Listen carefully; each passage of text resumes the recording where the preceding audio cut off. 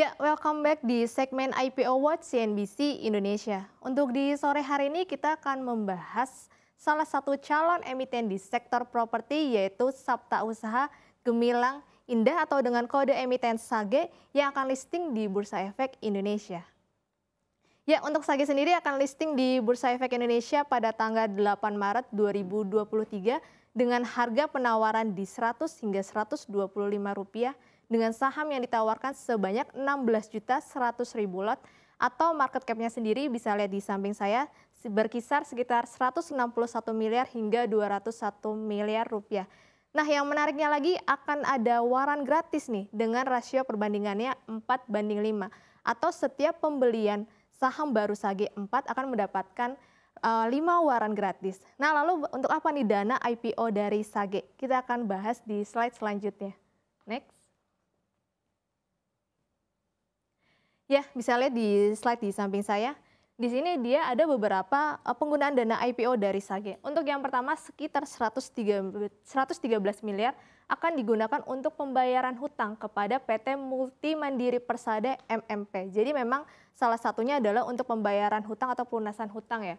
Lalu yang kedua untuk sekitar 30 miliar ini akan dipakai untuk ekspansi atau digunakan untuk pembangunan proyek perumahan Cibinong New City. Jadi Sage ini mendapatkan proyek baru atau proyek besar untuk membangun Cibinong New City di Superblok di Cibinong. Lalu untuk yang ketiga, sekitar 10 miliar juga dipakai untuk Cibinong lagi, namun untuk pembelian pembelian tambahan lahan. Lalu yang terakhir sisanya akan dipakai untuk modal kerja operasional. Nah, menariknya salah satunya ini akan dipakai untuk pembayaran gaji karyawan. Nah, lalu seperti apa bisnis dari Sage? Kita akan bahas di slide selanjutnya. Next. Ya, kita bisa lihat di sini valuasi atau rasio keuangan dari Sage. Bisa dilihat BV-nya atau harga kewajarannya, book value-nya, berada di 34 hingga 40 rupiah. Sedangkan saham yang ditawarkan tadi harga IPO-nya adalah 100 hingga 125 rupiah. Yang kita bisa lihat PBV-nya menjadi 2,8 hingga 3,13. Nah, menandakan bahwa memang saham Sage ini cukup mahal ya dibayar atau dijual dengan dua kali lipat hingga tiga kali lipat lebih mahal. Lalu untuk gross profit marginnya berada di 49 persen. Untuk kita lihat uh, gross profit margin di 49 persen ini cukup baik ya, menandakan selisih antara pendapatan dan beban pokok dari Sage ini marginnya atau keuntungannya sekitar 49 persen. Lalu untuk NPM-nya berada di 22,89 persen. Nah, ini laba bersihnya sekitar 22 persen. Ini juga cukup baik di sektor properti untuk Sage. Lalu untuk return on equity-nya atau ROE-nya berada di 3,89 persen. Ini cukup kecil ya, menandakan bahwa kemampuan pengelolaan modal terhadap laba bersihnya ini cukup kurang efisien. Lalu untuk ROA-nya juga atau return on asset-nya juga cukup kecil berada di 1,75 persen.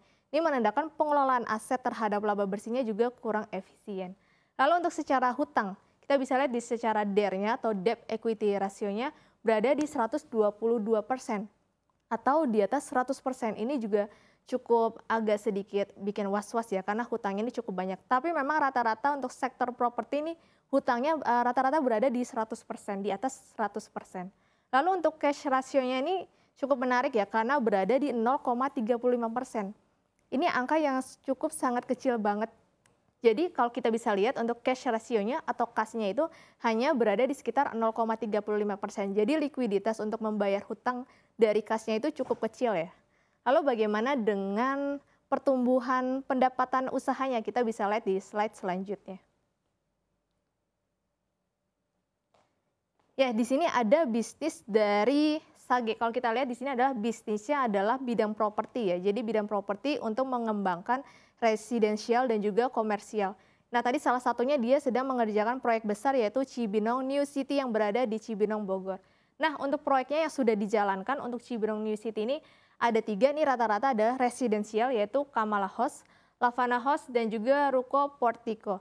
Nah untuk proyek yang akan dikerjakan nantinya setelah IPO yaitu ada apartemen, gedung perkantoran, shopping mall dan juga luxurious hotel. Lalu bagaimana dengan pertumbuhan labanya? Kita akan bahas di slide selanjutnya. Ya, kita bisa lihat di sini uh, untuk labanya di tahun berjalan, ini per 31 Agustus ini minus ya, seharusnya ini minus 4,1 miliar. Lalu per 31 Agustus 2022 dia menjadi surplus 4,6 miliar. Ini naiknya sekitar uh, eh, 200 persen. Nah pertumbuhan laba ini berakibat atau disebabkan dari meningkatnya penjualan rumah hunian di tahun 2022. Sehingga laba di tahun 2022 atau per 31 Agustus itu dia menjadi surplus di 4,6 miliar rupiah. Lalu uh, untuk Sage ini juga akan membagikan dividen sekitar 20% dari laba 2023. Nah, kita bisa simulasikan kira-kira kasnya Sage ini mampu atau tidak membagikan dividen. Ini saya ambil contoh laba bersih tahun berjalan periode 31 Agustus 2022. Di sini laba bersihnya ada 4,6 miliar, Lalu kalau tadi dividennya dia membagikan sekitar 20%, kita kalikan saja 20% dari 4,6 miliar, hasilnya sekitar 939 juta.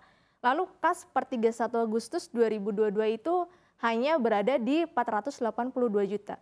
Dia butuh uang keluar untuk dividen sekitar 900 mil, 900 juta, lalu kasnya hanya ada 480 juta. Otomatis kasnya jadi minus 456 juta. Nah, ini menandakan bahwa memang kemampuan kas dari Sage ini tidak mencukupi untuk membagikan dividen kepada para investornya. Karena kalau, kalau kita lihat tadi, cash rasionya itu hanya 0,35 persen. Jadi untuk pembagian dividen per 31 Agustus ini bisa kita lihat atau simulasikan bahwa memang kasnya tidak cukup. Nah lalu bagaimana dengan prospek bisnis dari Sage? Oke, ini uh, ada kompetitornya dulu ya. Jadi ada kompetitornya Sage yaitu uh, Ciputra Development atau dengan kode emiten CTRA. Ini kalau bisa uh, lihat di samping saya, di sini uh, kita sandingkan Sage dan juga Ciputra Development. Untuk BV-nya sendiri, Sage berada di 3540. Harga IPO-nya 100 hingga 125. Lalu untuk CTRA, harga BV-nya atau kewajarannya 982 dan harga saham per tanggal 22 Februari di 935 atau lebih kecil.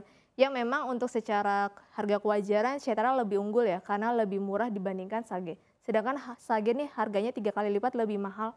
Bisa dilihat dari PBV-nya sudah di atas 3, lalu sedangkan Cetera masih di bawah 1 di 0,95. Lalu untuk gross profit marginnya nih dua-duanya uh, cukup baik ya.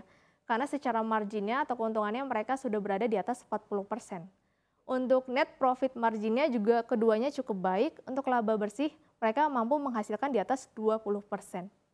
Nah, lalu untuk return on equity-nya, di sini kita bisa lihat CTRA lebih unggul ya di 11,16 persen. Ini menandakan bahwa CTRA lebih efisien dalam mengelola modal terhadap laba bersih. Lalu untuk return on assetnya, dua-duanya ini tidak cukup baik ya karena berada di bawah 5,9 persen. Untuk Sage berada di 1,75, untuk CTRA berada di 4,92. Jadi untuk pengelolaan aset terhadap laba bersihnya ini cukup kurang efisien. Lalu untuk secara hutang, seperti yang saya bilang tadi, untuk rata-rata sektor properti memiliki hutang yang memang cukup banyak ya atau di atas dari 100%. Jadi keduanya memang untuk pengelolaan pembayaran hutang terhadap modal ini dernya sudah berada di atas 100%. Nah, lalu cash rasionya ini kita bisa lihat tadi Sage uh, untuk kasihnya hanya berkisar sekitar 400 juta atau setara dengan 0,35 persen. Sedangkan CTRA itu berada di 81,57 persen. Kita bisa lihat bahwa kas CTRA lebih banyak dibandingkan Sage. Jadi secara likuiditas CTRA lebih baik. Nah lalu bagaimana dengan prospek dari Sage? Kita akan bahas di slide selanjutnya. Ya, bisa lihat di yang pertama, PT Sabta Usaha Gemilang Indah atau SAG ini sedang mengerjakan proyek yang seperti saya bilang tadi Cibinong New City. Jadi Cibinong New City ini akan menjadi salah satu pusat bisnis di daerah Bogor. Nah makanya bisnis ini atau proyek ini cukup besar ya, sehingga SAG ini cukup beruntung bisa mendapatkan proyek tersebut. Lalu Indonesia Property Market Index ini menunjukkan ada kenaikan uh, properti di kuartal 3 2022 atau sekitar 4,9 persen. Nah ini bisa menjadi acuan juga di 2023 sektor properti, sektor properti optimis bertumbuh di tahun 2023. Lalu untuk BI masih mempertahankan suku bunga di 5,75 persen, yang menandakan bahwa ini akan berimbas baik juga untuk sektor properti karena tidak akan ada kenaikan biaya untuk material proyek dan juga tidak akan berimbas kepada kenaikan harga properti. Nah ini harapannya nanti masyarakat Indonesia akan banyak yang membeli properti dan meningkatkan penjualan dan kinerja dari sektor properti. Lalu yang terakhir nih, dapat dilihat juga dari pertumbuhan KPR dan KPA-nya bahwa untuk KPR atau kredit pemilikan rumah dan juga apartemen ini naik sekitar 7% di kuartal 3 2022. Nah, ini menandakan juga uh, sentimen optimis ya untuk di 2023 bahwa KPR dan KPA KPA akan meningkatkan meningkatkan lagi kinerjanya karena kita lihat juga untuk Cibinong New City ini tadi ada apartemen dan juga rumah hunian. Nah, lalu kira-kira untuk Sage ini layak beli atau tidak? Ya, kalau kita lihat secara valuasi memang Sage terbilang mahal ya. Harganya kita harus membayar tiga kali lipat lebih mahal. Lalu cashnya ini super kecil atau berada di 0,35 persen. Nah, tapi kita bisa mengapresiasikan kepada Sage yang dia uh, bisa mengubah rugi menjadi laba. Kita lihat tadi bahwa per 31 Agustus 2022 Sage ini mengalami kerugian sehingga berubah atau turn around di 31 Agustus 2022 menjadi laba. Nah, ini kita bisa apresiasikan. Namun untuk prospek dari sektor properti kita bisa lihat bahwa di tahun 2022 naiknya masih fluktuatif.